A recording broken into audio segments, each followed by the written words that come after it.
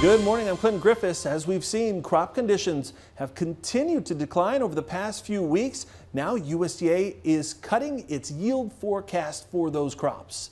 The agency, in its latest supply and demand report, once again making cuts to yield forecast. It's now calling for corn yields of 173.8 bushels to the acre. That's down 1.3 bushels from last month, but production now forecast to be 15.1 billion bushels. That's actually up less than 1% from last month, with USDA saying a greater harvested area more than offsets that cut in yield. And that surprised the market. It's also up 10% from last year. Soybeans now forecast to be 50.1 bushels to the acre, which is down slightly less than a bushel from last month. Production that's now forecast to be 4.1 billion bushels, down 1% from a month ago and down 3% from last year.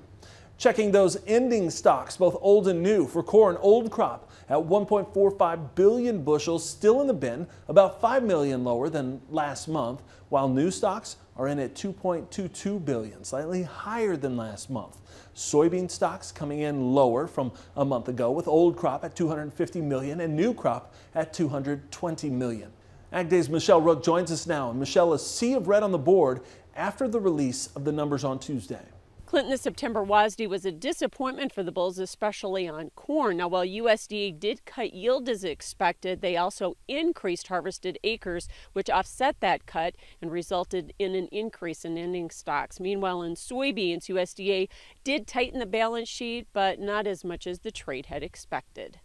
Corn yields dropped in many states as expected, with Illinois and Minnesota down three bushels. Nebraska was down seven bushels, but the 1.3 bushel drop nationally was disappointing. A lot of analysts, uh, brokers for that matter, uh, really looking for numbers you know, to drop a lot more than that. And the fact that they didn't, I think, is the biggest problem that we have here today. And the lower yield was more than offset by higher acreage. USDA incorporated the August FSA data and came up with 800,000 more harvested acres of corn.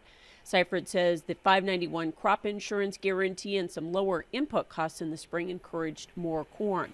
So even with a yield cut, production and ending stocks were raised 20 million bushels. Still well above that 2.2 billion bushel carryover, and that is a problem for corn. And the fact that production went up, yet they didn't do anything to increase demand, well, that that oh, that that just irks, right? For soybeans, USDA lowered yield about as expected by 0.8 bushels per acre, with a 6 bushel drop in Kansas, 3 in Nebraska, and 4 in Wisconsin. Here they only raised harvested acres by 100,000, resulting in a 60 million bushel drop in production. But ending stocks dropped only 25 million as USDA cut demand. 207 was the average trade guess for carryover on a yield that was slightly higher than what the USDA gave us. So for the fact that that yield came in lower than the trade guess, but they had a, a carryover at a 220 million bushel carryover instead of like 205, that's the rub. You know, the USDA was able to cut 35 million bushels off of exports. They were able to cut 10 million bushels off of crush. On wheat, USDA left ending stocks unchanged at 615 million bushels, but lowered world carryover by 7 million metric tons. For cotton, production and ending stocks were lowered on a U.S. and world basis. I'm Michelle Rook reporting for Ag Day.